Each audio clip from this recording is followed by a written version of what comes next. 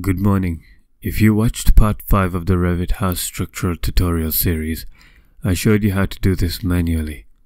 In this video I'm going to show you how to join these roofs properly, and how to join the walls to the roof by making them pitched. Thanks to a comment from AG69, I looked into it and found a way of doing things automatically. So thanks AG69. Now let's get into it. I have this whole process documented in written form at technicaldraft.com.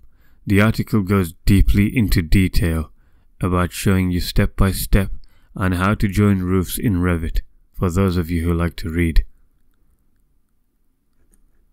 Okay, now if you're following that house tutorial series, ignore all this. We're gonna add these later. I was just playing around. So let's quickly add a roof. Let's make this quick. Um, architecture roof. You all remember how to make a roof, don't you? So I'm just doing this quickly. If you want to know if you if this is your first time seeing this, then just go into the uh, structural tutorial series and that'll show you exactly how to do it. Now I want two more roofs over here. Now you can join this wall to this roof like this. Let me turn off shadows for a sec. If you select the wall and come up to here, attach top base and then select the roof, this happens. You don't have to draw a pitched wall manually. I showed you how to draw a pitched wall manually because it's good to know how to do everything manually and then you'll appreciate the automatic tools as well. I really like this.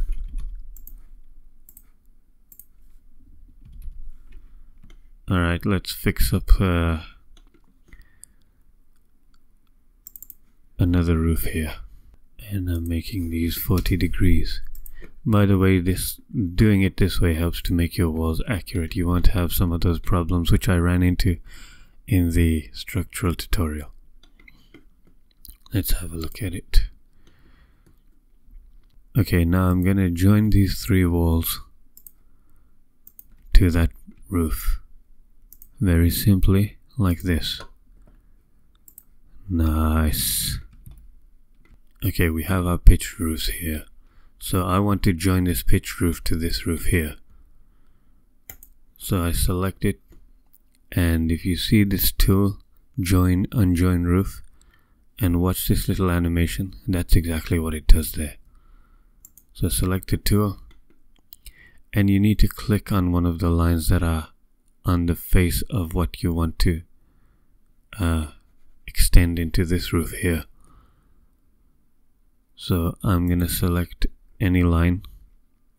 And when I hover over the side of the pitched roof notice how it borders around selecting the whole face.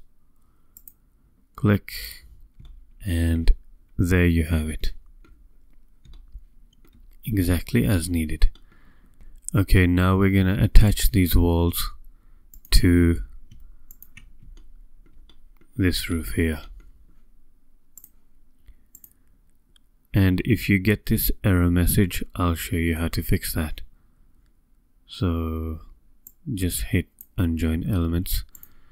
Click the wall that's giving you a problem and detach top base.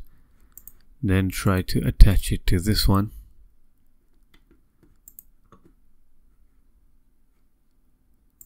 Then try to attach it to this one.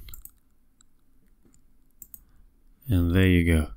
Fixed your problem Let's do the same for this side.